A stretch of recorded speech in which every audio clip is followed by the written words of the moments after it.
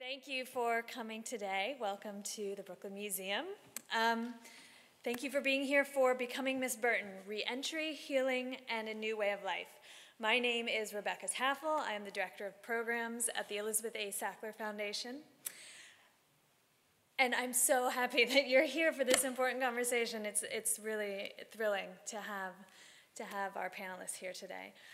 Susan Burton has been called a national treasure by Nicholas Kristof in the New York Times and a modern day Harriet Tubman by Michelle Alexander, the author of The New Jim Crow. It's very clear once you read her memoir, Becoming Miss Burton, which hopefully you all got copies of when you walked in, um, that these descriptions are more than fitting. Her journey has made a, her a powerful advocate for ending mass incarceration, for imagining and most importantly, enacting systemic change. Um, we are honored to have you here today, so thank you very much for being here to share your story, your truth, and ultimately your triumph. Um, we're equally honored to have Topeka K. Sam and Cory Greene here, two formidable and fierce organizers based in New York City, to add their own stories and to join her in conversation. And of course, to guide the discussion, we have our moderator, Cecilia Clarke, president of the Brooklyn Community Foundation. So thank you all very, very much. This is the final program in 2017 of the ongoing series, States of Denial, the Illegal Incarceration of Women, Children, and People of Color, which is produced by the Elizabeth A. Sackler Foundation. The foundation began the series here at the Sackler Center in March 2014, and all of our previous programs are available online as well as other Sackler Center programming um, at our website, which is www.brooklynmuseum.org slash EASCFA slash video. Um, if you're interested in joining our mailing list in order to receive updates about this programming, since the series is ongoing, um, just find me uh, after the program, give me a business card or your email address. Um, we will start up again in the spring of 2018. Our next program will be March. Um, a big thank you, huge thank you to our partners on this program, both vitally important organizations located here in New York, the New Press and Brooklyn Community Foundation. And lastly, one more note of thanks for Novo Foundation, who has supported this programming series and continues to, support, uh, to support this current 2017-2018, um, these programs. So um, just quick sort of housekeeping information. After the panelists finish their discussion, there'll be time for questions from the audience. Um, there are two microphones on each aisle, and then following that, Susan will be available on stage to sign copies of her book.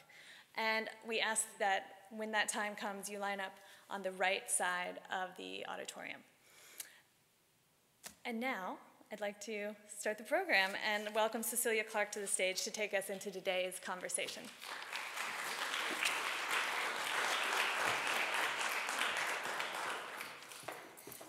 Thanks, Rebecca. Um, I'm so delighted to be here. This is our fourth partnership with the Sackler Center. Uh, so thank you so much, Rebecca and Elizabeth, who, who couldn't make it. And our third with Sackler and New Press um, for the States of Denial series. So it's an immense honor to be able to be the Brooklyn Community Foundation and partner with the amazing Brooklyn Museum and the Sackler Center. So we are the Community Foundation for Brooklyn, and we partner with generous Brooklynites, innovative nonprofits, and community leaders to take on Brooklyn's most pressing challenges and to spark lasting change. One of the ways we do that is by bringing together change makers in critical conversations like the one we're about to do. So I'm going to ask uh, Susan and Topeka and Cory to come up and introduce all of, all of you to them.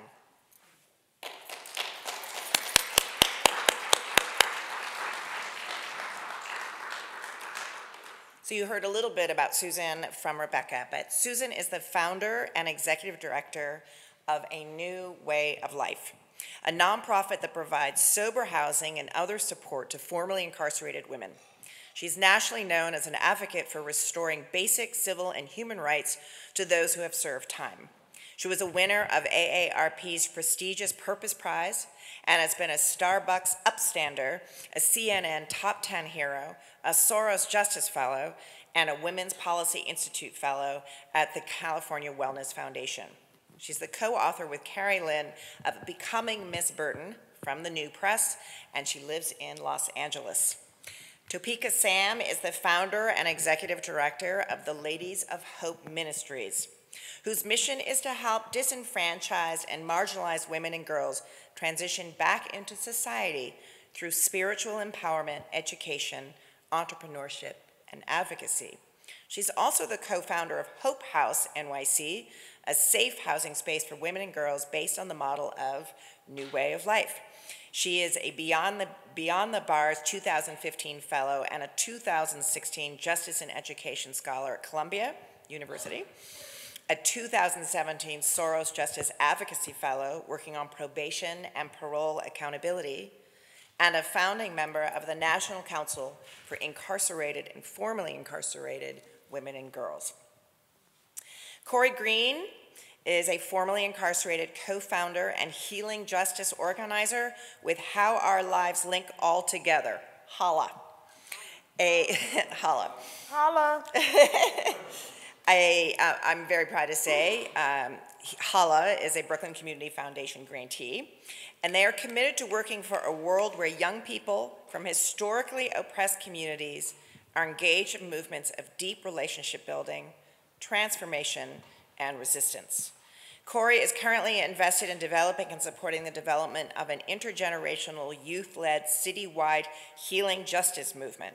Cory is also the community researcher and training manager with the Center for New Leadership on Urban Solutions. He's also a PhD candidate at the Graduate Center CUNY and a loving father. Thank you.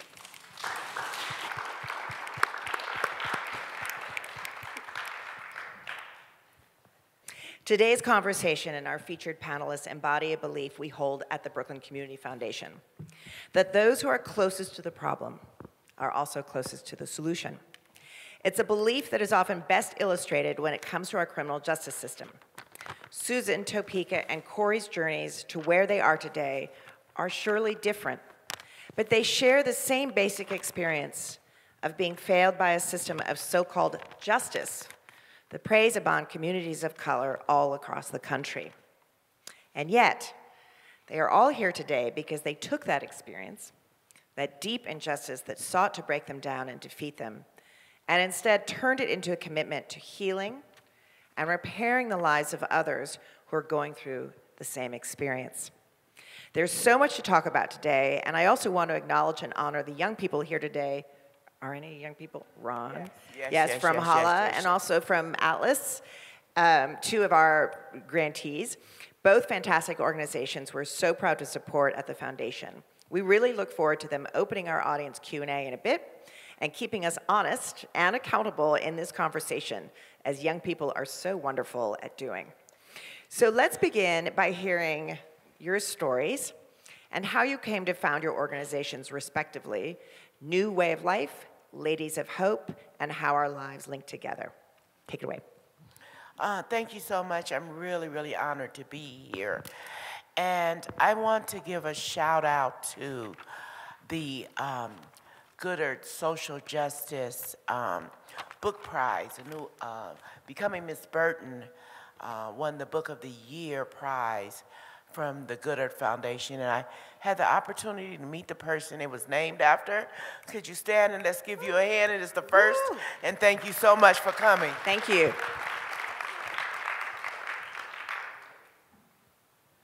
So, A New Way of Life was um, founded out of my lifetime of pain, trauma, and incarceration. So, um, you know, I experienced so much um, violence and trauma um, as a kid growing up, as a young girl, uh, as a young woman, and then as a mother.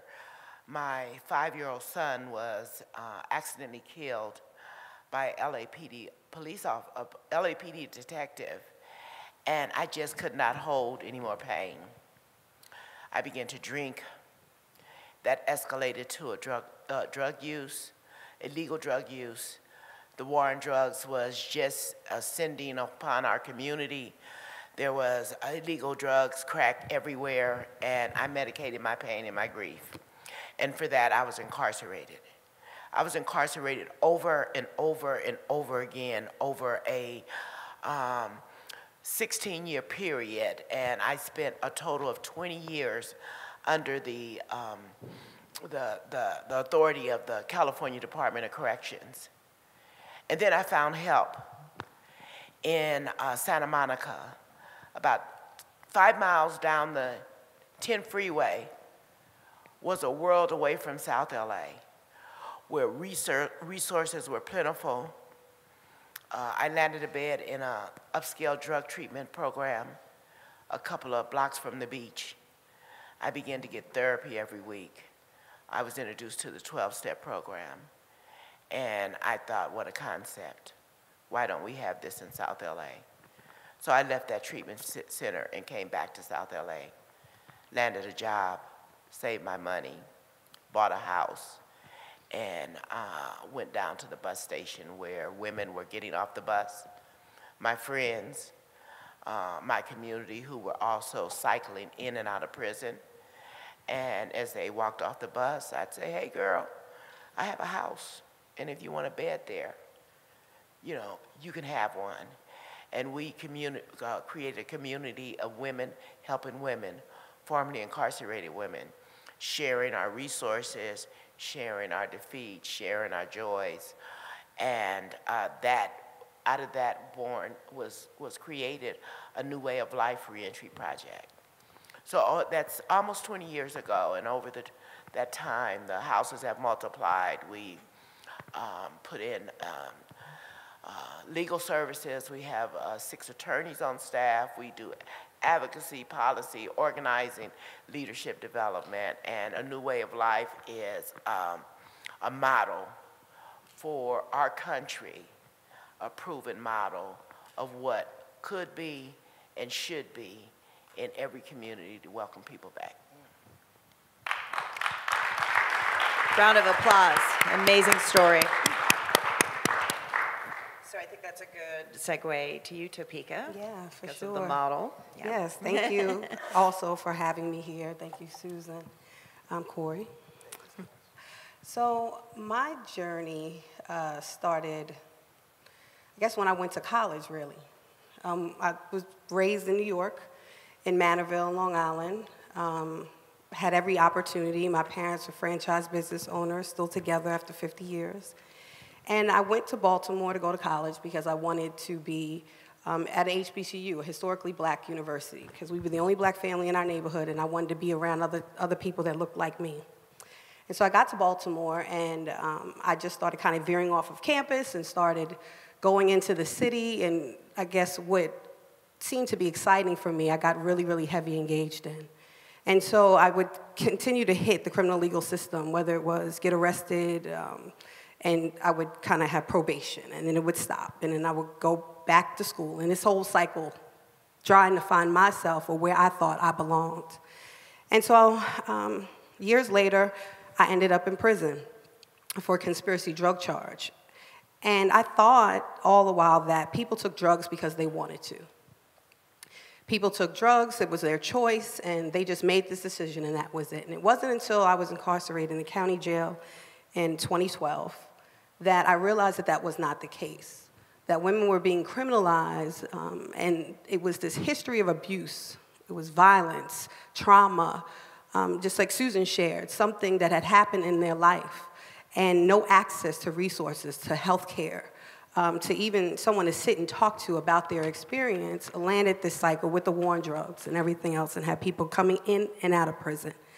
And I would see women come in and leave, and come in and leave, and then leave and never come back because they had overdosed and died.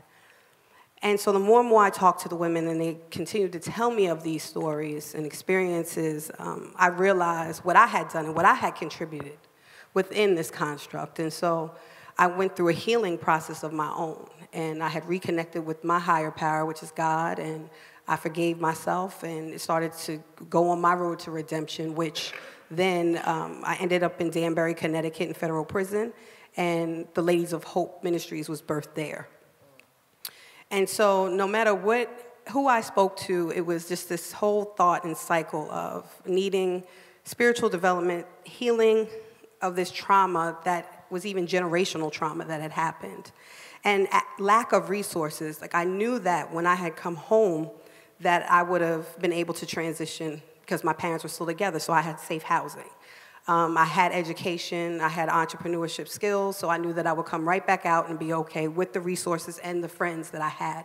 But I also knew that that was a rarity and that many women wouldn't have had that same opportunity. So it was my obligation. I knew when I came home that I had to help other women through the transition so they would not go back to prison. And so while I was in, I met um, my partner, Vinay Sykes, who's here in the front row. Vinay.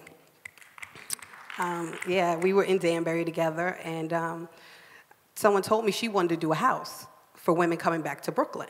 And they're like, you need to talk to Vinay. So we talked and we started just talking about the vision and what we wanted to do. And the name came Hope House.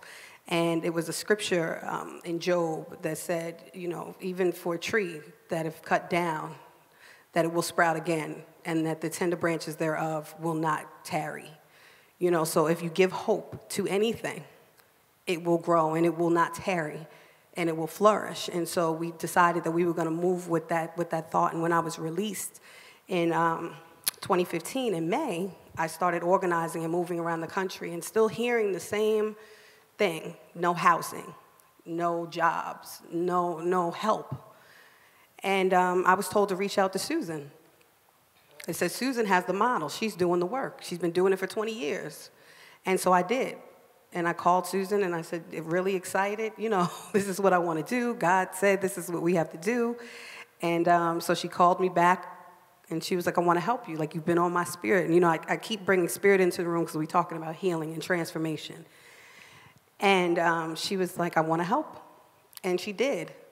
And you know, you think about resources and you think about connectivity, you think about building coalition and how do you help other formerly incarcerated women.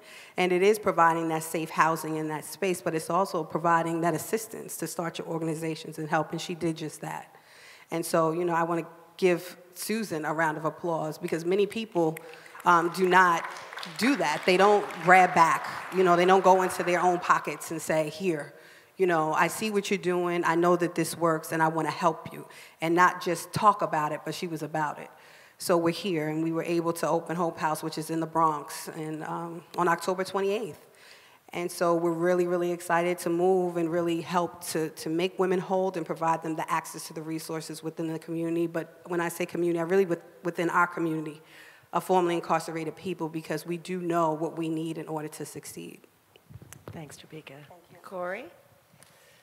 Peace. What's up? Good afternoon, everybody. Good afternoon, Cory. And um, yeah, thanks to um, to everybody who put this together, and particularly like putting a panel together with formerly incarcerated um, leadership. So thanks BCF and everybody who organized this. Um, yeah, man, a story about me. I think like I'm an indigenous person, and it's really hard to tell a story about me like just in my like physical lifetime, because you don't really understand how trauma and how my connection to my mother and her mother, how that has shaped how I come to this work and how I, how I show up and how I've been um, battered and, and, um, and, and, and, taught to internalize certain ideas and certain things that, certain ideas that lead to certain behaviors in myself and outside of myself. Um, so my mom's, so I'm gonna start my mom's and kind of like walk up a little bit to like how Holla was started. Um, my mom's was born in Mississippi in the 50s. Jackson, Mississippi. And, um, you know, I like to identify myself as like old school black, you know? Um, and I say old school black because like our blackness in this country starts with like the Atlantic Ocean. Um, and it starts in the deep south. And like for us, it was the Delta, Mississippi. Um, and as we were trying to run to healing and run to reentry from slavery, from colonization, we was moving away from as far as south as we can go. We, I mean, as far as north as we can go. And for us, it started at Jackson, Mississippi. That was a little bit away from the Delta. Then, you know, by the time my mom was 12, she found herself in Chicago. We started moving to Chicago. And we set up shop in Chicago. And by the time I was born, a little bit before I was born in the 80s, my mom's, the, the, we, we done set up shop in New York. Um, but through those experiences, my mom's at 12, she was like raising all her little siblings who were like nine, 10, 4. Um, she was working um, because as a young person, this is how you show up and like like to try to like support your family. So she was migrating, moving to different places to try to like help family as we move and migrate away from the violence of the South and trying to move up. She was trying to take our family and be a young leader in the family support it. And in the 80s, when she landed in New York, also, you know, there's real forces that we're running from, crack epidemic hit. And as my moms who came out of the army, who was in Job Corps, who did all of the things that black people try to do to be good black people in the world. We, we just trying to like, we just trying to see, be seen as human. Like we can do this, we can go to school, we can work. She was trying to do all that, she wasn't organizing, but she was doing all the things in mainstream world that we say if we do those things, we should, we should be seen as human. We should be seen as people. She was trying to do those things, and when she ended up in New York out of, out, out of the army, um, she ran into crack. And it was all over our neighborhood. And for her, that one night, turned into like 35 years ongoing of a struggle. And me being born three years after my mom's was addicted to crack cocaine, um, I, I, inherited um, um, the deep history that my mom's journeyed through and where she came from, and also the material consequences of, of like disinvestment in, in, in our neighborhoods. Um, that are facilitated through the war on drugs policy, but that is like, if you start there, that's not the beginning of the conversation either. No. You know what I'm saying? That's like a chapters, chapters along. So, and I say this thing, and I say this because um, a lot of the stuff that I was living through and experiencing growing up, I thought was regular.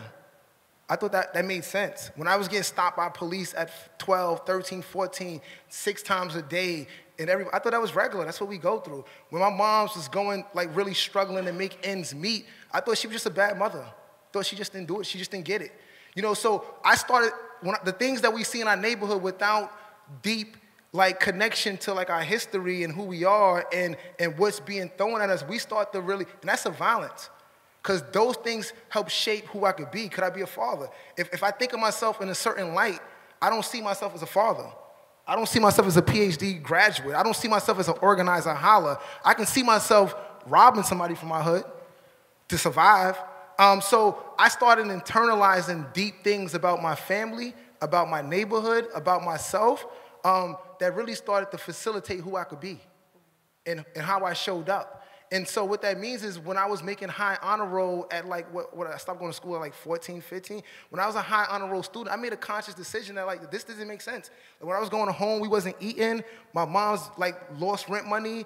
Um, she's getting locked up and I gotta, um, um, and go into programs, and then I gotta go, go, to people who are not really caring for me, and I gotta figure out how to eat. How my little sister's like 12 now, so there's like so much going on in the body in the, in, in the internal that like is, is, is facilitating um, like, like my hope. That is facilitating um, the next step I'm gonna take. And in the next, and, and when you're in these situations, every step that you take feels so critical. And like, like, like you don't see 10 years out. You don't see five years out. You don't see being patient, being processed. You are in death. You are like in structural violence. Last thing I would say before I move on is that um, I was a high honor roll student. At some point, like the things that I was seeing and living through and feeling and connected to, I felt like it made sense. I felt like my only option was to go to the streets. I felt like my only options was to, was to live a certain thing because of who I thought I was, what I thought my community was, how we interacted with each other, and what society, the media, scholarship, super predator, all those things have told about us. You're super predators. You know, black people are lazy. Black women don't do nothing. Um, your mom's like all these things. I, I, I, was, I was holding those things. And, and I went deep, deep into hurting myself and hurting my community, and it led to me catching a case when I was 21 um, for homicide.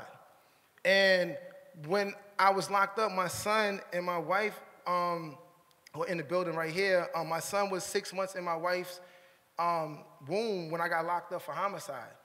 And that was a deep reflection for me. I had to really pause and I had to really wrestle with the fact, because a lot of the conversations I had with myself growing up, watching my mom's and, my, and our family go through it. I was like, damn, I used to tell my moms too, like, like, but I didn't really understand. But the question that I was asking her was like, if you wasn't ready to have ch- children, like, why did you have it now? Um, and I was telling her that like when when when when it's my turn, if I ever decide to have children, I would like try to. But when I was having a child, I was in prison. Um, and I was grappling with the same thing that I was trying to question her about.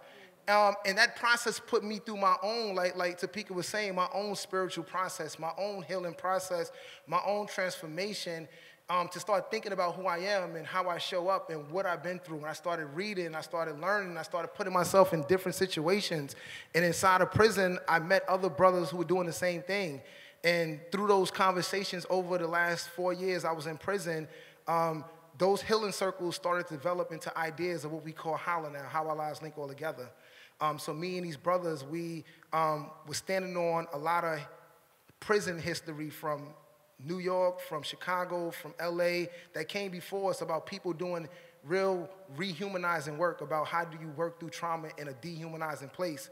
And we started using that model to kind of like build with each other. And through those conversations, we were sharing real stories about ourselves the guilt, the hurt, the shame, the ways we didn't show up, the ways we felt confused, the ways we was fronting, throwing on masks, trying to be something that we wasn't. And we was honest with each other and we was building. And through those conversations over years, we started saying, how do we get this back to our young people? How do we get this back to our block?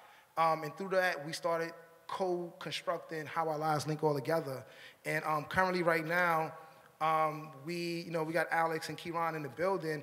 Um, the goal was that like the neighborhoods that we live in and the, and, and, and, and, and the conditions of those neighborhoods, along with the prison system, were no places for us to raise our young people, our future.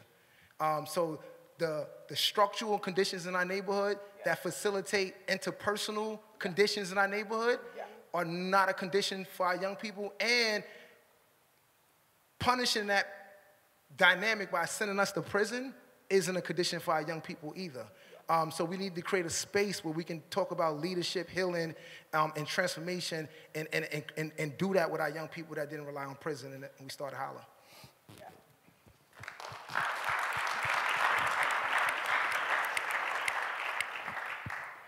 Uh, I have a lot of questions. Um, thank you all so much for sharing these stories. Uh, there's definitely questions about gender in here, but I'm not going to go to gender right away. Um, I guess I do, you know, what's interesting is we actually just closed, every year we do an Invest in Youth grant cycle. Um, we deploy over two and a half million dollars annually to young people um, in under-resourced communities in Brooklyn largely. Um, and healing justice uh, is just at this cycle started to pop up in a lot of the grants. And I remember one of my colleagues said, you know, Cecilia, we need to look a little deeper into this concept of healing justice. Um, it wasn't just HALA. Um, and I think that hearing three um, very clear stories about trauma, and, and in essence, what, what it really, the common denominator here is the trauma of systemic and structural racism, right? And um, so I guess I'd like to know what does healing justice mean? Obviously it's connected with this trauma. Where did it come from? And what does the movement for healing justice look like in your perspectives? I mean, um, Cory, you use that very clearly as an organizer. We could start with you, but I would love for the two of you to speak about it as well. Yeah, um, for HALA, healing justice is um, it's, a, it's a framework, it's pedagogy, and it's organizing for us. So we see it on three different levels. Um, as a framework, it's really a, a deep understanding analysis that understands that that, that social development, that trauma, that, that, that oppression is, has a historical, like what we see today has historical roots that we can't just look at today um, at like the school to prison pipeline um, or stop and frisk or the immigration stuff that Trump is saying today without like tracing the roots of it. Um, secondly, we understand that healing is a collective process, that you can't heal alone, that you gotta heal in community with people and, and, collect, and collectivity with people. Um, third, we really believe that, um, that as we do, um, um, like, and that healing starts with the, with the self, that it starts local. And, and, and, you know, that could mean a bunch of stuff. You know, with the self meaning like internal, like how you internalize stuff. Um, also, local is like within your family, within your home. Like healing happens within homes Like, and then another local part is like your blocks next to you. And then another local is you formerly incarcerated, the community of formerly incarcerated people. Whatever the communities that you're close to, it, it, it starts with a really intentional process that healing local, healing, healing, healing is, is, is, is, is, is important for moving outward. Um, and then um, as pedagogy, um, how do you create platforms, activities, um, curriculum, um, um, environment that understands people deep trauma around gender, around mass incarceration, around sexuality, around like, and you gotta like, you know, we from like, I know I'm from I'm from old school black, uh, so I know how we show up on Thanksgiving, on Thanksgiving, on Christmas, um, on on on when we just on the corner chilling, or we just in the hallway. Like those those are like moments to analyze to say how does the interpersonal dynamics play out? How do some of these larger issues play out in our real relationships? Um, so it's about honoring how we all been hurt in different ways based on our blackness, our brownness, our queerness, and really creating the conditions and that, that welcomes all of that trauma in so that we can start sharing that in, in a way that's about moving us forward. And that takes intention, that takes study to understand how to bring people together so that you can get to a point where everybody feel like they can go deeper or let some vulnerability out. And then the last thing I would say is that, and as far as an organizing practice, is that um, a lot of people, and we are one of the people too, HOLLA, the Center for New Leadership, think that healing and transformation happen at the policy level. And from our 50 years of organizing, like we don't want mad policies. And like from even the reason why we know about um, stop and frisk is because we organized and got them to disclose how they stop and frisk people. That's the reason why we was able to count how many times they stopped and frisk. And when you look under the policy when we win, when you go to Brownsville, when you go to South Jamaica, when you go to the middle of Queensbridge projects, our life still feel the same. Like even when we win the policy, our life, because the policy still got to be facilitated and implemented um, by people. And the culture of white supremacy, the culture of racism, the culture, regardless of like, I'm talking about people's hearts, people's spirit. Like policy can't change that. Um, so the kind of organizing work that we do is about changing people's hearts and spirits. It's about transformation. So we definitely target policies, all of them. And we understand because we won policy already that like transformation and healing doesn't just happen at the policy level. So we make sure that while we're fighting for policy, that we are definitely doing human justice building with, with, with all of our people for individual transformation as well. Damn, Cory. Fantastic. Damn, Cory. I think Cory covered it. So, so I, I just want to say that when I started a new way of life, I didn't have the words or the framework to actually talk about this sort of justice healing work. Mm -hmm. What I had, though, was the action mm -hmm.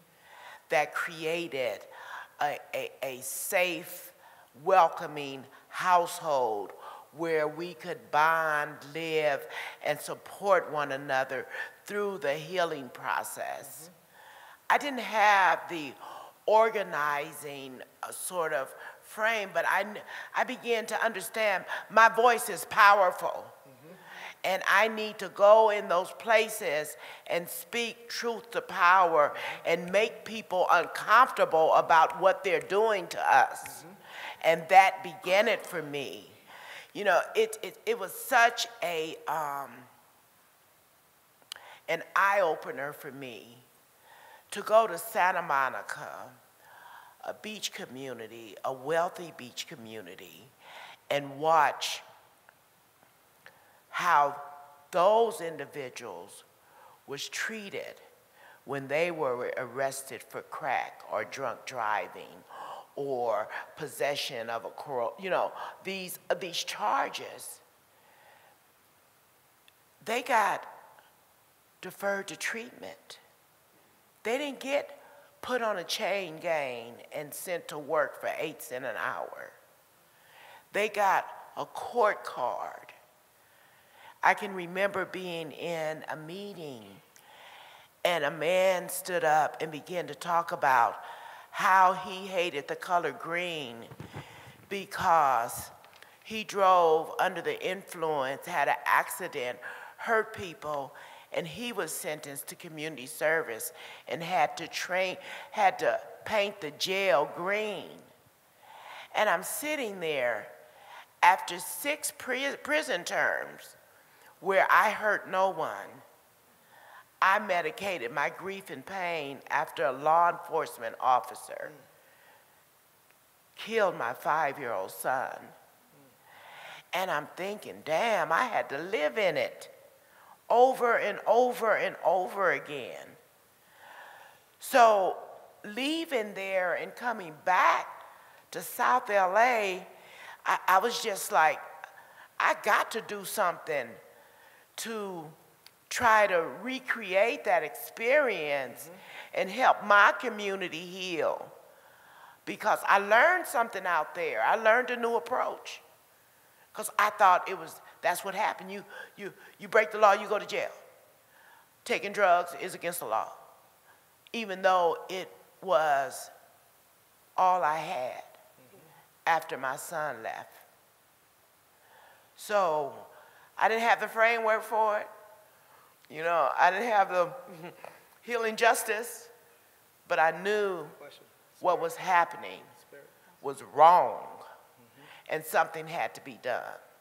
So I just, you know, clanged my little pennies together and and, and out of it grew a house where women could come together and make a community and support one another and grow stronger. And I just want to add to what both of you said. Um, the healing, a part of healing justice also is this. You know, people who have lived the experience, who are the best mentors, and who have all the knowledge, and who can then guide, right? And change and transform not only our communities within our communities, but within ourselves. You know, every time I come and I'm able to be around someone else who has experienced the same things that I've had and get poured in in the way that this is happening, that's part of healing. And so it's important to continue to provide platforms like this, right? And to provide access and resources for people who are doing this work so that we can continue to heal our communities because we are healing each other. It's awesome. Um, so, really great. One of the things I just heard listening to the three of you, by the way, um, to prepare for this, I went online um, and I, because I, wanted to see, there are quite a few videos of uh, New Way of Life, um, kind of a day in the life of New Way in Life, and they're really beautiful documentaries. They're, you know, some are five minutes, some are 20 minutes, and I kind of couldn't stop watching them because I just want to tell you that the, even the sense of healing justice when, you know, Susan, in some of the videos, you just turn around and you're just like, anything you want, we're here for you. And there's so much power in that. So, you know, when I think about healing on that, just such a deep, and, you know, lots of people are crying in those videos, but they're really crying from joy. Mm-hmm. And I think they're crying from a sense of justice and healing and relief. Um, and you have started that, and now you're modeling that, and you're all doing this work. Um, so I want to commend you for that, but also I just recommend you look at the videos because um, they're really incredibly moving. And one of the things I like that the three of you touched on is that clearly, and I don't think you need to name it, but we'll name it for now Healing Justice. Um, there is a relationship here between what you can do interpersonally and in your community and with those you love, and what you can do on the bigger in the macro right on the policy level and and that susan you kind of came to that because well first of all you understood how white people live uh, which apparently is very different, um, which they're painting the jail that you're in, yeah. right? Um, and, um, and so you know there's something wrong, and you know the history that I think Cory spoke about so beautifully. Um, so I'd like to kind of talk a little bit about this, this the necessity of both the, the really deep work, but also the policy work. And I know, Susan, you had a huge uh, triumph in California, Prop 47, which we'll talk about. Uh, we've had some really great victories here, uh, certainly raise the age. New York was about 49 states behind raising the age of criminal responsibility from children to still young adults, but, um, and then also recently closed Rikers, um, and, uh, which is, interestingly, now technically a policy. We'll see about the implementation, so I do think making the distinction between policy change and implementation is really, really sound point. Uh, but you want to talk a little bit about some of your, you ended up doing policy work even though you just thought you were buying a house for some women. Yeah, yeah. so um, what I began to recognize is that um, a house and a, a place to come back to wasn't enough. There were structural barriers, structural racism, straight disinvestment, and inequality that was just humongous, no matter how hard and how consistently we worked to, to, to raise ourselves up out of the, the, the bottom there was always these things that kept us from rising. So we got into uh, organizing and policy and ballot initiatives. And, you know, our ancestors um, uh, died and were bitten by dogs and were sprayed with, with water hoses, hung from trees around voting, just being able to cast a vote. So um, it's important that we exercise that, that right to vote and that we organize and go into places where uh, people are, are held and, and, and, and, kept from voting, held on this uh, uh, wretched bail system and kept from voting. So we um, organized around voting in 2014, 2012, 2010, 2008, and in 2014 it kind of paid off in a big way because there was a ballot initiative, Proposition 47. Proposition 47 reduced six misdemeanors uh, to six felonies to a misdemeanor, nonviolent um, uh, um, drug possession, um, um oh, what, what I, drug possession, receiving stolen property, writing a bad check, petty theft, um, forgery for less than $800, and um, it's one other one. I can't, can't think of it, one other one. But they, they reduced all of these to, to misdemeanors. It took $100 million that was transferred out of the state prison system back into the community. Uh, and it created uh, programs, a victims, a victims, uh, victims fund, uh, drug treatment, mental health, uh, and uh, uh, K through 12 school, that money went into those pots, and we're just now, that money is just now hitting the community. But what it also did is that, you know, it took, it, it's, I want to say, I use the phrase, it took the wind out of law enforcement and state prisons because the day that measure passed, the next day they had to open the gates and people flowed out by the thousands back into the community from county jail and from prisons. And also, uh, those that had to actually, uh, some people had to file to reduce the, the, um, the, the measure to, produce, to reduce the drug possession to a misdemeanor, and then and then they they flowed out, and our legal department helped to implement that, and we're still implementing it. I myself have my drug charges reduced to a misdemeanor, but um, it it it show it, it kind of put faith back into our um, the low voter turnout community that our vote does matter. And my homeboys are coming home, and my mom's coming home, and my sister and cousin is coming home because I cast that vote. And so after that, we did Proposition 57, which gave people more credits that they could come home. But it's ongoing, and, and we went into the jails. The sheriff tried to keep us out of the jails. We filed a suit through the legal department to get access to people inside that we could register, register them to vote. And, and, and you know, I tugged and I fussed and I called my supervisor and I'm like, the sheriff's got to open up the doors and let us in there because we registered our folks to vote even there. And we did. And we went back to ensure that they cast their vote. But this is, this is the, the work that really energizes me. And I'm glad to see these young people here because I don't know how long the work gonna keep energizing me. But these are the things that I'm not we worried. did. And, and, and so, um, yeah, it's, it's like, you know, um, you know, um, I feel like I got a foothold. And, and, and I'm not stopping. You know, I'm gonna, I'm, I'm gonna, gonna raise as many Topeka Sams up as I can. And I brought with me April Atkins. Want to stand up, April? April, April just, just came home. Uh, and I want to thank, thank the Sackler uh, Foundation for bringing her with me.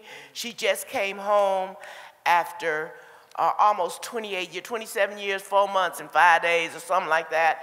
She's been home a, a, a few months now. And, and, and so we're going to keep, you know, exposing and, and raising people up and bringing them home and, and, and, and exposing them and encouraging them. So, yeah. So I just went on one, y'all. So. I love that. We love that. We love it. Uh, do either of you want to speak a little bit about policy before I? No? No. You're good?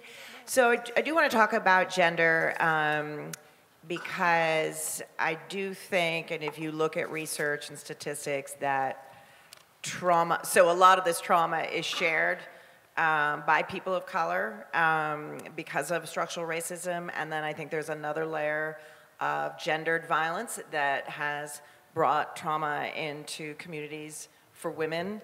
Um, and in fact, if you look at the research around women who are incarcerated, they estimate that maybe up to 90% of women who are incarcerated have, in fact, survived sexual violence or certainly gendered violence. So, um, which does not mean that men who are incarcerated themselves are, have not been traumatized by violence, but I do think that their gender is playing a role in terms of the violence. So, um, and both of you have started programs for women. Um, and Cory, of course, you're welcome to also speak about. Um, I'm curious, in fact, in your original group with HOLLA, uh, if women were at the table, not obviously while you were inside, but later.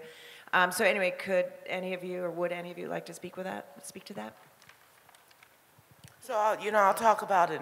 And in the book, I write about a long history of trauma and violence um, that I experienced prior to incarceration.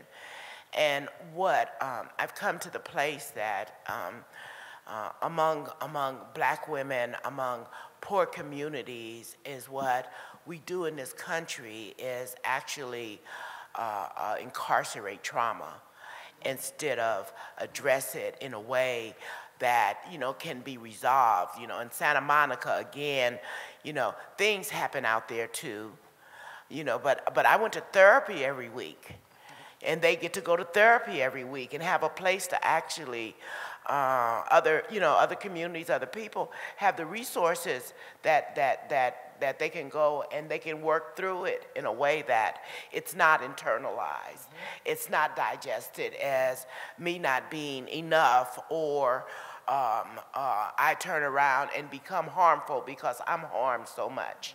Uh, so the disinvestment in our communities still come to, to my mind here around addressing trauma. And not only the disinvestment, but the overinvestment in law enforcement and tactics of oppression and suppression that, that we experience, which is another form of trauma.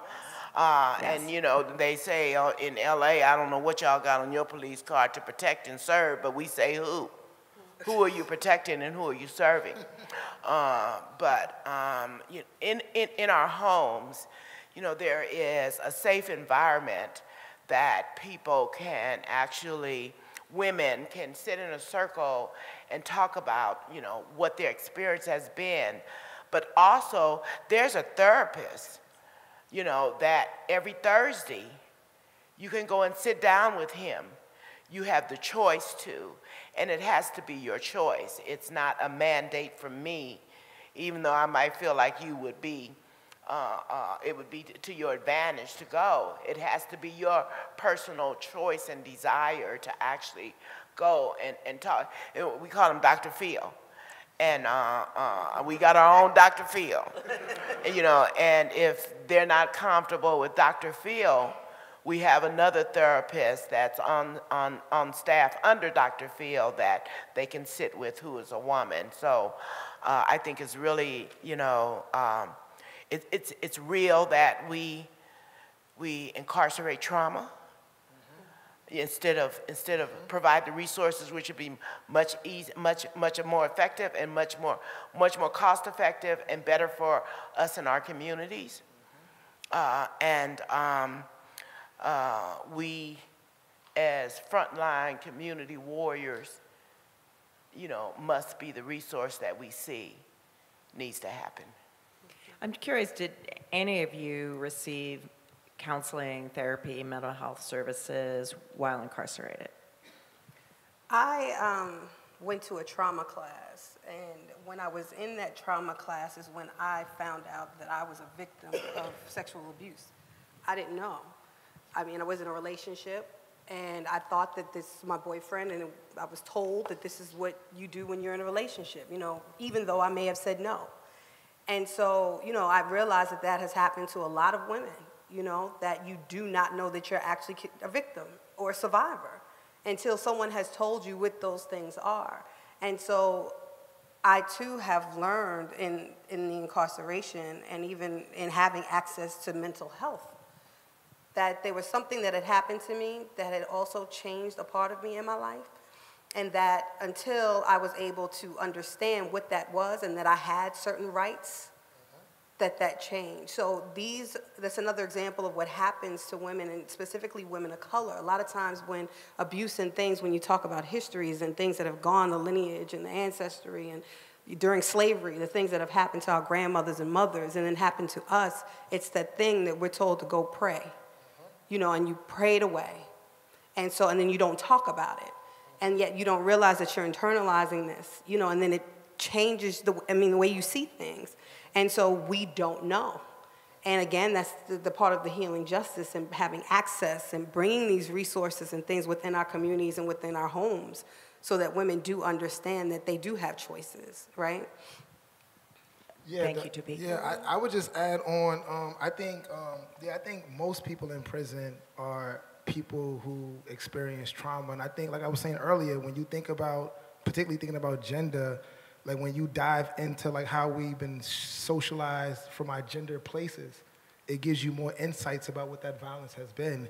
Um, so I would assume, because my experience in prison, like when you are in that experience of deep kill, of deep dehumanization, and you're trying to fight for your life, um, you're building with people in deep ways. So I'm pretty sure, like Topeka, like beyond what we know statistically, have deep wisdom about what in those circles and those spaces that y'all have with women about what it means to like it- and then another thing like my wife who like we also think about like the 2.3 million people in prison or the whatever 8 million people on papers but we don't think about the communities and the families who love us um, who are in prison with us um, who got to like go through visits who got to get violated who got to like be separated from their family um, so i think there's another if, you, if we was to put our analysis in, on gender violence in that category and see um, our women and our sisters and our siblings who love us while we are in prison. Um, I think that's another kind of like opening of like how it, how trauma works too. Trauma, yeah,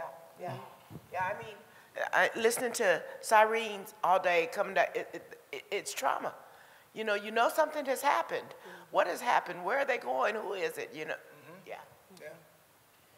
Um, so we, would any of you like to say something before we go into audience Q&A um, about this topic, something that you think is important to share?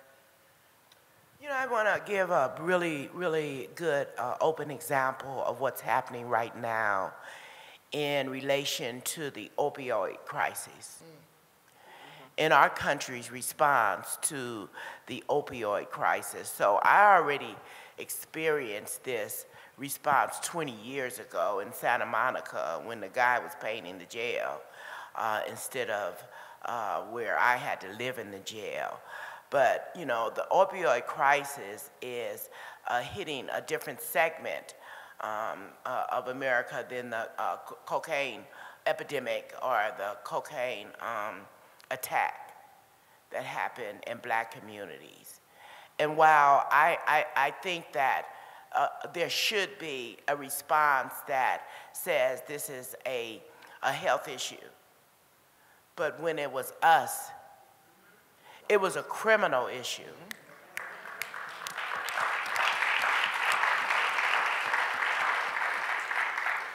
and we just all have to uh, be um, cognizant and aware and not actually just like sweep that under the carpet and let it pass without giving it the type of attention and recognition of what's happening and what's been happening. And we need people to just be cognizant of that and, um, you know, rallying for more resources for communities, a different approach to safety.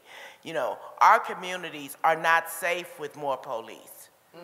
Our communities would be safe with victim services, therapy services, mental health services, arts, recreation. I was looking at the, the, the, the things that, that, that were going on in the museum today you know, same things that make other communities safe, make our community safe, prosper, and instill hope for a better life. And, and, and, and so, you know, we need all of you to be thinking and, and, and, and, and, and pouring the resources in that our community needs and, and thinking about a better approach to what a safe community means.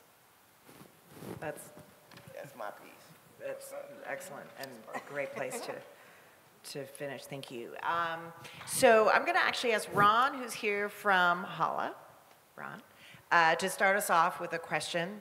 Um, and there are microphones on both sides, and uh, we really encourage you to ask these extraordinary panelists um, any questions. Ask the question, don't go home thinking about it. Excellent advice. All right, so um, y'all talk about healing for about approximately 45 minutes now, and I was listening. And um, Topeka, this is for you and for everybody on the panel. Um, so you have experienced healing justice, but you have experienced it with the Youth Organizing Collective. How has that experience helped you to do the work you are doing right now? And for people who don't know what healing justice is, I would love to get involved and also want to help HOLLA to achieve his healing justice movement. Sure. Yeah. All right, so when I was invited by Cory to come experience the circle, um, it was life changing for me because it was led by the young people. And it was dynamic because they were, the, the engagement was very, well, the knowledge and the level of engagement um, really changed my life. And it opened me to be able to share in a way that I was able to touch, but also be touched. Um, to sit directly in front of someone who is younger than you, you, where you can see your younger self. And to really understand you know, what you're saying, how that can affect their lives, but also seeing yourself. So it was felt like I was talking to myself. Um, that it was extremely powerful. And so, you know, just thinking about also working with you all and bringing that into Hope House for the women because that, that takes part of healing with the children, right? And building from that. And so I would encourage, as far as getting involved with HOLLA, I mean, afterwards to see one of you or see Cory, um, and to continue to, one, get engaged in the circle, right? Um, because it was everyone there. It was black, white, brown, everyone was there. And um, everyone actually, I, I, felt like there was kind of like a, a release, you know, afterwards. It, it was, it was just a great experience. Cool. Um, also, I have a question for Cory, too. This, this ain't biased, bruh. Um, Cory, I want you to tell everyone in the room your perspective, what healing justice means to you. Again? to you, this is your perspective of healing justice on the inside. On a local level, it means, like what I said earlier, like me, my wife is here, my son is here. Um, we love each other, um, but like real family and like real people, we have real issues that, that make our love complicated. Um, so what it means to me is re really like like honoring and grappling with the ways that like I play a part in complicating our relationship and trying to build with my family and creating a situation where we can see each other in a full way. Um, so on a, it, it, starts what I said earlier. It really is about building, expanding hope. Um, it's about it's about shared leadership. Um, it's about it's about understanding how you hurt other people and how you may hurt, even whether you know it or not, consciously or unconsciously. How because how people have been raised or what they experience or how they internalize stuff. Like just you being you, sometime, even when you don't have any bad intentions to it. And this is particularly like you know, um, for dudes who are in spaces with women, for white people who are in spaces with a lot of black people. Like just you being you, and who you've been socialized, maybe landing on somebody in a real bad way because you're not because if you're not conscious so so it starts with like loving my family and figuring out how I could be better as a father as a husband um, and, and, and, and taking that into my movement of social justice and sharing that with the world. It's about deep vulnerability. It's about owning your owning the hardest parts. It's about working through fear. The last thing i would say is about working through fear because sometimes we are worried about how, it, so it's a lot of self love um, to help you work through fear and to help you dive into a vulnerable place where I believe is a lot of our magic powers at. Um, so that's all I would say too. So this is a, um, uh, sort of an honor for me too, and I, this is a question I have for, for Susan. Um, so this was a, I was a long-term executive director of a community agency on the Upper West Side and spent over 40 years doing community work. And when I retired this year, uh, they named the book, I was worked for the Goddard Riverside Community Center on the Upper West Side of Manhattan, similar issues, and they named it the, uh, the Goddard Riverside Stephan Russo Book Prize for Social Justice.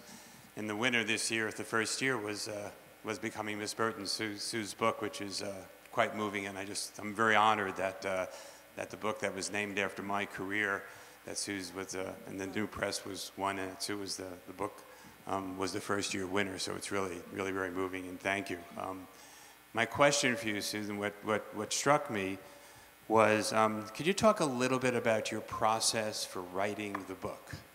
Um, because, you know, there are a lot of different experiences and different ways that we express it, but it, it's a real leap to be able to figure out how to put it down in such a such a way that you did in a book. And so, a little bit about how you did that and how your whole experience and what you went through and, and the organization that sort of became this book that, uh, you know, it's a way of sharing it with so many other people. So um, I think the process for me, um, understanding the journey, the, the my life uh, trajectory, started with the reading of the new Jim Crow. And because the depth of the injustice, I knew there was stuff that, ha that happened that shouldn't have happened, but the depth of it um, and our government's um, interaction with that produced some of the experiences and the environment that came out of the environment in which our government was really uh, accomplice in producing allowed me to go back and re-examine not only my life, but my parents' life and that's where I began to really line up my experiences that um, landed me into much of the harm and the pain that I experienced.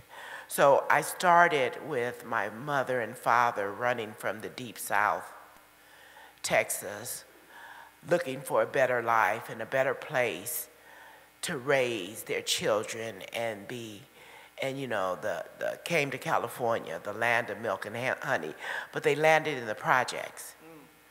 An area had, that had been constructed to receive black people fleeing from the South. Mm -hmm. They had already laid the plan out. Mm -hmm. And my mother and father, unbeknown, just like fell into it. And I talk about playing jacks on the, on, on the floor of the projects, which were concrete, and I loved playing jacks there because the ball bounced real high, and I could swoop my jacks, and I could catch the ball, and I could, I could be a good jacks player. But later, I would be walking on cement floors in prison, and there were no jacks. There was a job that paid me eight cents an hour. And so I, I went through my early life. I went through year by year by year, starting with my, my mom and experience by experience and by experience. And it was painful. At one part, one, one, one morning, I remember waking up in my living room and there was a ball of sadness around me as big as this room. And I just had to sit there in it and say, how do, does a little girl how does a little girl, a woman, be treated this way?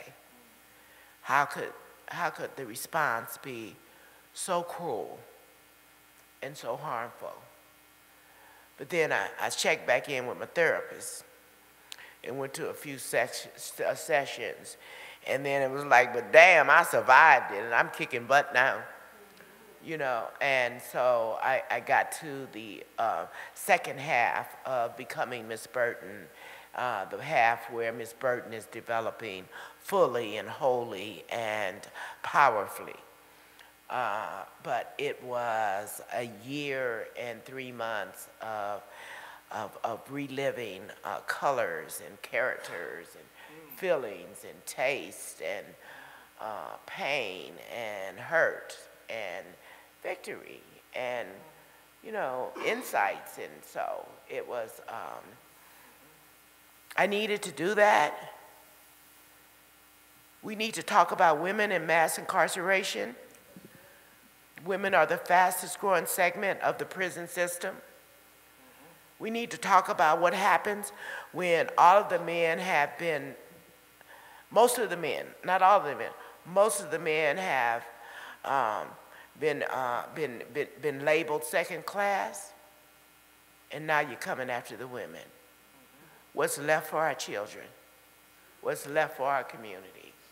So we need to talk about that and what that, what that looks like and what that brings. So, so that's, that was the reasoning around uh, writing the book. I didn't know it was going to get you an award. so that, that's, just, that's just the cherry on top. Thank you so much for being here. Yeah. Yeah. Oh, who got there first? I don't want to. All right, go ahead. Um, thank you guys all for talking. Um, I know when I was incarcerated, I did like a lot of uh, motivating and uh, counseling and things like that, but it weighed heavy on me. But I always had somebody I can go to, which was a facilitator or something. Who feeds you guys? After you give all that you have to everybody else, who feeds you? Who, who, who, who gives it to you? Great question. Thank you. So Apparently what, a lot of people. Watching you take pictures yesterday was, was, was food for my soul. Yeah, I would say, um, yeah, my mom's. You know, I start off the story with my mom's because my mom's is still struggling. Like, she's calling me, like, literally right now, probably, um, and texting me, um, but she's still fighting, and that strength is just beautiful. That's a beautiful strength to, like, hold on to and be close to. Um, the people that, that touched me in prison, there's so many people that blessed me with wisdom, with potential, with hope, that would never come out of prison the way the system is designed. Who just gave it to me, see me in the yard, and like invested deepness in me as a way of, a way of like living for themselves. Um, but it may have been selfish for them in that moment, but it was really, it was really precious for me because I didn't even understand who I was. Um, my son, um, my wife, um, I can just keep going. YOC, like our young people, like just seeing Kieran and Alex in the building. Um, we got two programs that our young people are going through an 18 month like leadership process. We spend a lot of time together, like three times a week, six hours at a time. That's not even talking about when we got to prep for like a panel like this or anything else. We just spend a lot of time together and we struggle, but to see that the, the, the transformation that they're taking as individuals, um, it lets us know that the work that we're doing, to see Susan, to see Topeka, to see the work that formerly incarcerated folks are doing, it lets us know that we still alive and that, that, that we still got to add on. Um, so I'm motivated by, by us um, and by my connection to me that know that I'm us. You know? And who feeds me? My sisters inside. Like I get emails and phone calls every single day. Um, women who have life sentences and double life sentences, 13 life sentences, and who may never even come home if policies don't change, right? First time offenses. And when I get a call from them and they just want to know what's going on and that they're proud because with the hope that they have of one day coming home, that they're hoping to come to Hope House you know, that allows me to know that I have to move. Like, you know, that gives you the energy to say that sisters are being released every single day. And someone has to be there to receive them. You know, when I think about Susan in 1998, and where was I in 1998? And where am I now, just starting the things that she's done for decades? And what is it gonna look like decades from now? You know, that what feeds me, to understand that, you know, you're moving in, in, in purpose. You know, that's you. You feed me. Quasia feeds me. You know? Awesome. Go ahead. Hey, uh, Cory, you talked about the need and the lack of opportunity for people of color, people who are, um, you know, in the LGBT community, um, to to kind of get help and also to connect with their vulnerabilities. So, are your organizations kind of? Do you think this is a, a concern, right, to to help out the LGBT community and kind of are the current opportunities out there for people of color, women, and children, kind of encompassing of LGBT struggles as well? Yeah. Yeah, definitely. I think it's definitely of a concern. Um, I think, like I said earlier, I think there's a lot of policy and political climate stuff that we can address around LGBTQ stuff. But just thinking about us and healing justice and just thinking about our own internal spaces, thinking about our own communities. Um, there's a lot of healing that we got to do amongst ourselves around how we show up around other people's humanity. Um, the stuff that we internalize about who we think we are versus who we think other people are. Um, so yeah, the, the, work that I'm talking about, the curriculum that we design, the space that we do in HOLLA, um, it's not perfect. You know, we're always learning, but the intention is that we're trying to create a space that brings in all our humanities, so that our young people are, are learning, studying, um, the history of some of these topics. Um, we're bringing our real life experience. Some of us are queer, some of us is trans. Um, so our crew is undocumented, formerly incarcerated, queer, trans. We got like four um, sisters. We got some South Asians. We got a young white youth um, been, who grew up in Bushwick. Who's um, so we have a really dope collective that have a like like like like standpoints of really deep experiences and deep wisdom. So for us to function every day um, we got to be intentional about how we create that space to welcome folks in. Um, but on a larger thing, I think, um, yeah, I think like there's a lot of conversations around policy um, outside of our immediate space, in our homes, um, in the culture of our world, in the workplace, um, that like, yeah, like black, LGBTQ, black trans like it's not just lgbtq when you throw trans and you throw blackness on top of those things those things complicate the issue even more. So yeah we need to keep having more conversations about that. And i mention that point because a lot of times when we talk about lgbtq issues like like i'm connected to a lot of like like like like trans identifying folks and they are not even in that conversation sometimes because their their transness and their blackness um, still doesn't fit the model what LGBTQ should look like or should roll out like with. So it's a lot of like work around like um, like who fits the the category of LGBTQ, and who is still excluded from that too. Um, so it's just a lot of work that we all like. This is another thing about healing justice. Um, it's about your own work, your own individual work that you need to do to, to understand what humanity is going through. Like, even though I'm not queer, I'm not trans, I don't mean it's not my job to understand and, and learn more about what queer and trans people are going through in my community if, i if I say that's my community. Um, so I think, so the point that I'm saying is that we all, every day, every second, every conversation, we should be working on our individual transformation to move us to a different place. And I, I just like to add that um,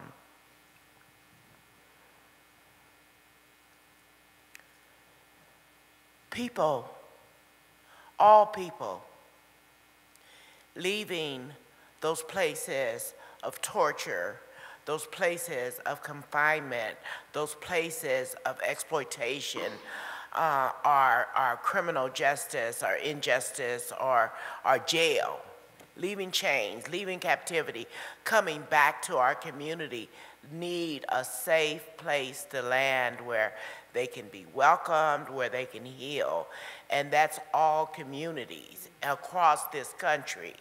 So um, what, what, what we're doing at A New Way of Life is working in, in, with uh, UCLA to create a model replication uh, study to roll out next year the opportunity for people to learn from our model um, how to do effective community-based grassroots underground railroad reentry.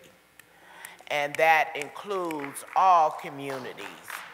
Uh, so, so that's, you know, where, uh, you know, my next phase of development is to support the development of safe homes nationally. And Topeka opened the first one in um, for the Bronx on October 28th. But we're going to scale it up. We hope Brooklyn is next, Topeka. Yeah. so we have time maybe for two more questions and then. You have four more people. I know. So how about four more questions, but we're super efficient. Yeah. And then don't forget that Susan's going to be here signing her book. Uh, I hope you all got a copy of a book on the way in. We're going to be signing on the right. Um, but, um, but if we don't get to all your questions, then, you know, I, I hope the three, three of you will be hanging around a little to answer questions. But go for it. Okay, this is a hard question, so brace yourselves. Okay. what is justice? Oh, it's for all. yeah, justice is justice is me. Yeah. Justice is young and dope grassroots leadership being shown in Brooklyn Museum on a public stage. This is what it looks like. This is what it smells like. Um, justice is, um, yeah, I think it depends on what time frame we in in history. I think about it depends on what's the conversation, who's in the room. so, because justice means different things to who what we speaking to. So, but I think it I think it means um, it means it means facing um, like, like um, the history of things that denied our ideas of what justice may be. Um, and then it also means investing um, in the communities and the people um, who receive some of the brutal end of that injustice. Um, like you got like two dope, dope black women up here on a panel who are formerly incarcerated and you got me who's also formerly incarcerated up here. Yeah, yeah. Like this is what justice looked like. This is what it smelled like. Like we need more. This needs to be normal more. Um, we need to we like justice is really like coming up with a new normal and reshaping some of the relationships that we have with institutions that we have with who's an expert. But we sorry. Yeah, and I think it's this, the same for you as it is for me, the same for the West Side, the East Side, the Bronx, Manhattan as it is for, for, for the next person. And, and I guess equality you know, real equality.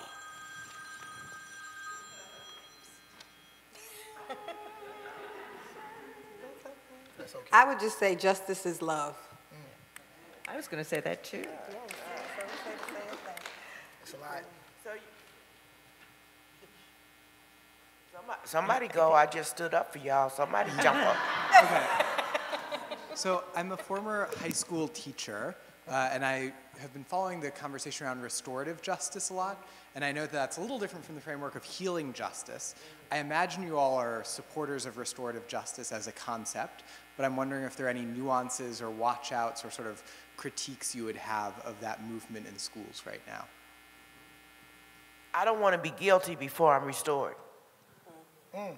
I, you know, don't, don't tell me, you know, I, I, I don't want to be guilty um, uh, before I can get some restoration. You know, restore me. You know, yeah. So so you got to watch who's who's pushing restorative justice out. And also restorative, from what I understand about the teachings and the history, like as an indigenous person, Um, I'm keep throwing that out there because I feel like restorative circling is an indigenous practices. And it's not just about when so-called conflict happens, it's about how we govern our life. How we hold space, how we build relationships, how we build institutions, how we build babies, how we build community. We're always in circle. We don't just do it when so-called conflict happens. Um, so I think part of my thing is that um, the way it rolls out in school, I think um, it's not, for one, culturally, it's not something that's culturally in the whole institution. Like the principal, dean, and superintendent, none of them are going through the circle process. Um, it's just about the young people who are bad in a certain moment. Maybe teachers who are like dealing with that every day are more in it, but it's not a cultural, foundational principle to governing an everyday cultural life. Um, so for me, I feel like when you like it, it, loses a lot of its history and its philosophy of why it's important, why it brings people together, why people are able to show up a certain way when they're always in it, step from when you just send them in there when they go into the box or when they go into the dean. Um, so, so I feel like, and I, I, HOLLA's started off in schools. Like our first, when we came out of prison in 2009, our first four years was volunteering in public schools in New York City with the at-risk youth.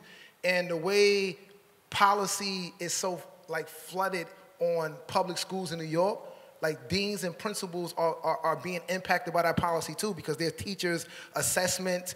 Um, so there's all kinds of like so the school situation to me is just that's a site of extreme like fear. Everybody is like fear from their school getting closed fear that i'm gonna get a bad score on my testing thing that i'm not gonna be a good teacher anymore fear that i'm gonna be a one. As a student you're fear that you're gonna be a one that you ain't gonna be a four a four means that you are you're good in all your stuff. You're gonna be a one. So all of these testings, zero, it's a lot of fear that I think is counterproductive too to like the philosophy of what restorative justice is. I can just keep going, but I think I also think it's really important too though to bring people together and to negotiate stuff. But I think like yeah, we need to be honest about the things that that that, that doesn't make sense in that situation too. Can I? I'm just going to insert uh, the Brooklyn Community Foundation. Uh, three years ago, we launched a restorative justice pilot in Brooklyn, uh, in three high schools and a middle school. And um, I just, you know, to be clear, and I completely agree with with my colleagues here on the stage, not my colleagues, but my friends here on the stage. All right, all right, all right. Thank you. I'm not sure I deserve that place of honor, but um, uh, it is completely about the whole community and one thing. So one thing I'd say is check out our website about this project that we're doing. Um, and the second thing I'd say is you should look at transformative justice. One of actually one of the people delivering in our pilot um, really subscribes to this concept of transformative justice, um, which really takes into account pretty much the conversation we've had here today, which is really looking at cumulative um, historic violence and trauma um, and what it brings into schools. But one thing I would say about restorative justice is at least mm-hmm. we are maybe reconsidering a conversation about thinking about children uh, in any way that is punitive. Yeah. Um, and it's entirely rooted in racism and it's absolutely new Jim Crow. Um, so just even the idea that maybe there's an opportunity that we can rethink, and I, I think in some ways I would say that about justice. You know, there's a lot of uh, conversation now about it's not reproductive rights, it's reproductive justice. And I totally agree with that because I think it's really about reimagining. Um, so restorative justice definitely has some issues, but the idea that there's even an opportunity for a counter narrative, I think is what's really clear. So that would be my answer to your question. All right. Sorry, wasn't very efficient, and I was saying that we should be efficient. Okay, go for it.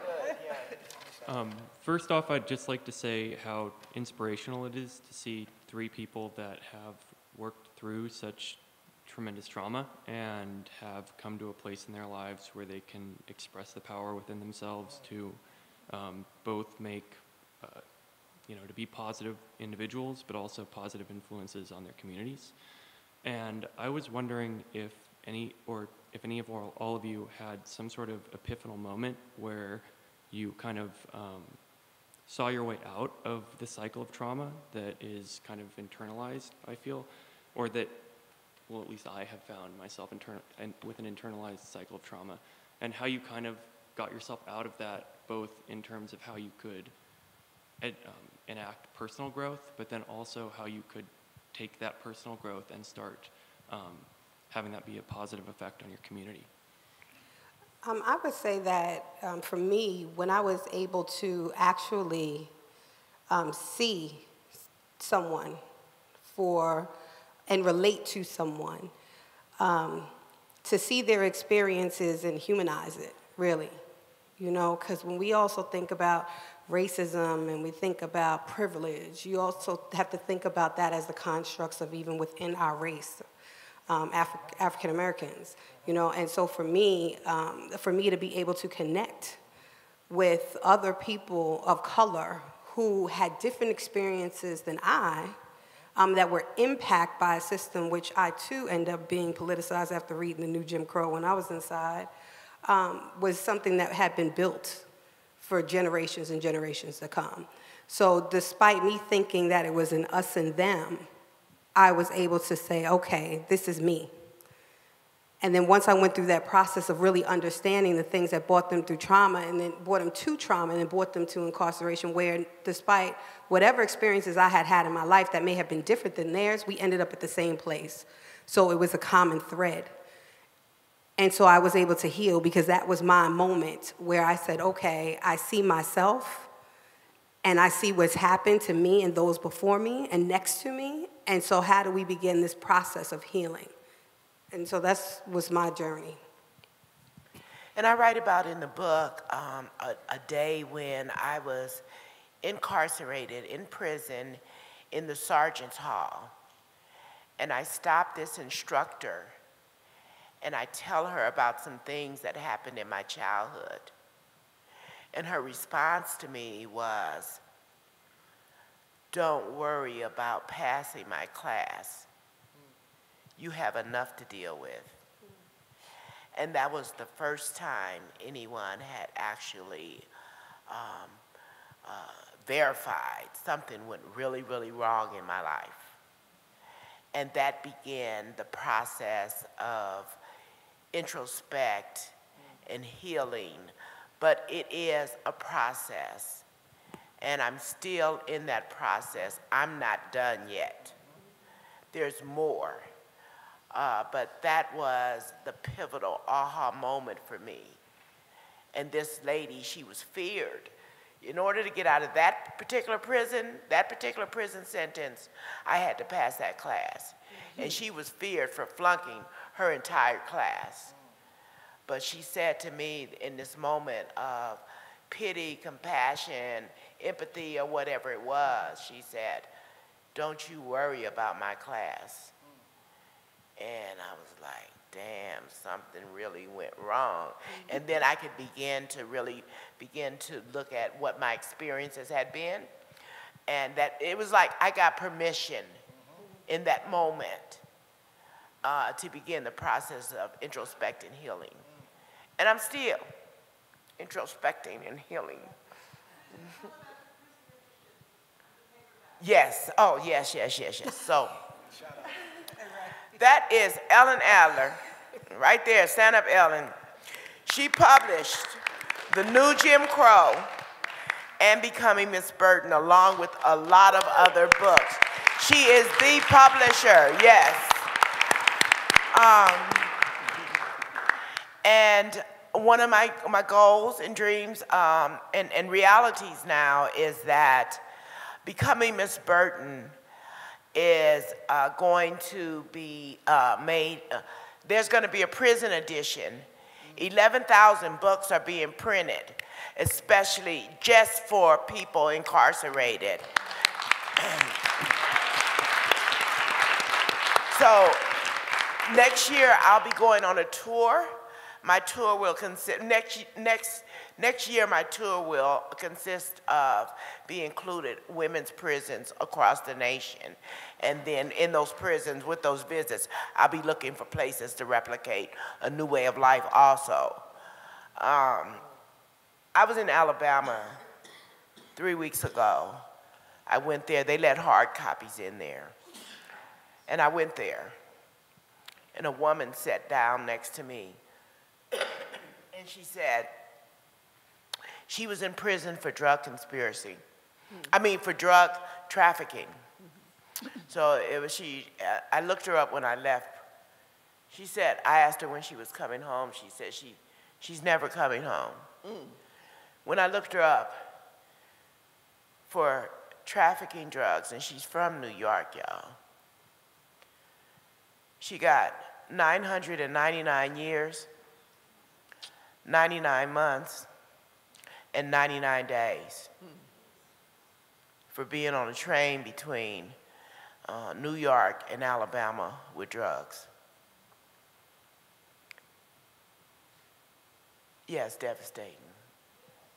99, 999 years, 99 months, and 99 days. And it's been searing into me, what are we gonna do about her? What can I do? Uh, so, this prison tour, well, uh, you know, I'm working on how, how to build a campaign for her. You should And now we have the opioid crisis, and it's a Mm, health problem. Should, uh, did you talk to Bryan Stevenson when you were down in Alabama? I did, and the next day I went He'll to take Bryan- care of her, No, maybe? the No? next day I went to Bryan Stevenson's office, and I said, "Do you know Miss Cooley?" And they said Geneva, and they they said, "There's nothing we can do for her. Mm. There's a little glitch in the law that was passed for people like her that excludes her." But I've been back in contact with him, mm. and we're looking at, I have the attorneys at A New Way of Life also looking at it to see what we can do. But look at that sentence and look at the health approach for opioid. You hear me? So, yeah. She's 70 years old. She's been in prison 15 years. And she's 70 years old. We're gonna get her up out of there, right? We're gonna get her up out of there. All right. Good afternoon, everyone that's on the panel. Welcome back to a free world. Not completely free because it's something that you really have to fight for. Yeah. The important thing that I wanted to bring out is that in this country, until it hits home, nobody cares. Mm. No, everybody looks away until it hits their own house, their personal hearts and their personal minds. That's when they really start to think about how this system work. This system is really not about the little man, the little nine to fivers. This system is about the clock, how much you can put in before you leave this planet. We have to come together as a people and recognize that these people went through hell just to tell their stories. Just to be sitting there right now and sharing this, believe me, I know the gates are still in your hearts the bars, the locks, the keys, the time, check in, check out. I have friends that have been incarcerated and they're working and they're doing their best, but it's still not good enough. Boredom and torture is very, very important for us to think about. Because in some family right now, someone is going through torture and they're going through boredom. Why do you think they came up with pre-K for every kid? Because those little kids was bored, sitting home, doing nothing all day. And so they came up with pre-K for everyone. They opened the gates for these little minds to start getting busy so they can stay out of mischief, so they can start doing things that's productive to society. We have to get on board and stop looking the other way, thinking, oh, it's not about me, I don't care. We got to start looking at people like this people who are trying to be good, people who are trying to do something better, and we got to give them the support they need. So my name is Patricia Hill. Anything you need me to do, you, I'm sitting right here. Just let me know if I could just start from point A and just continue going. Because we got to get involved. We got to stop looking the other way. People are coming in every day from different countries looking at us thinking that we're a bunch of idiots letting things like this happen. I'm watching a court show on TV where they have three judges to determine the decision of what's going on.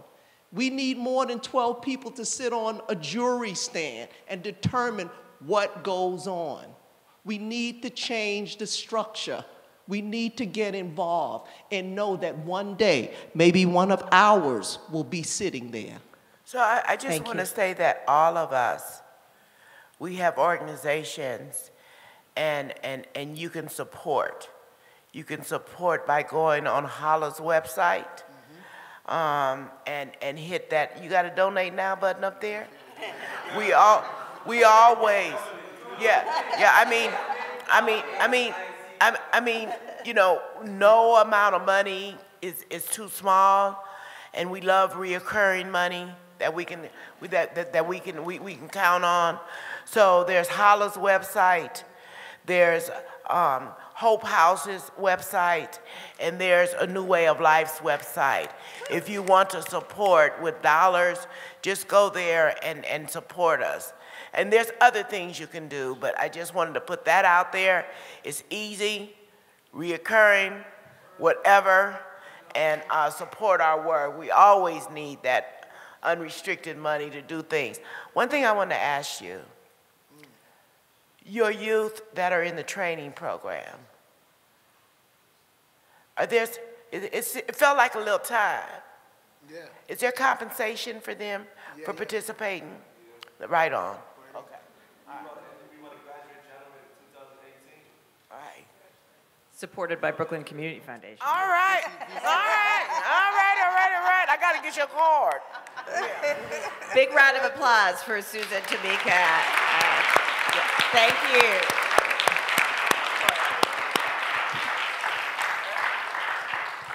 So uh, I'm gonna sign books for whoever wants a signature.